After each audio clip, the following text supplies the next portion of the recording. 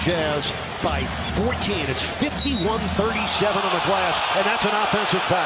That's and a- not a call that's met with much agreement by that That Heat bench, including from Tyler Herro. Even Ingles had to laugh at that. That is really, really. I mean, there needs to be some contact.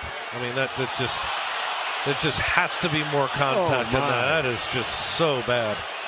Now, wow. Now there is a little contact there, but but the flop by Ingles was Oh. epic.